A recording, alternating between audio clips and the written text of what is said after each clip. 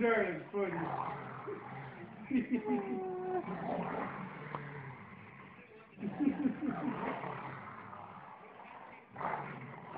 she just punked him out.